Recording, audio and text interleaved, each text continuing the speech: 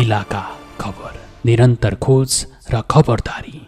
नेपालीहरूको महान पर्व विजया दशमी दीपावली तथा छठ पर्वको पावन अवसरमा सम्पूर्ण नगरवासी तथा देश विदेशमा रहनुभएका दाजुभाइ तथा दिदीबहिनीहरूप्रति सुख शान्ति र समृद्धिको कामना गर्दै हार्दिक मङ्गलमय शुभकामना व्यक्त गर्दछु।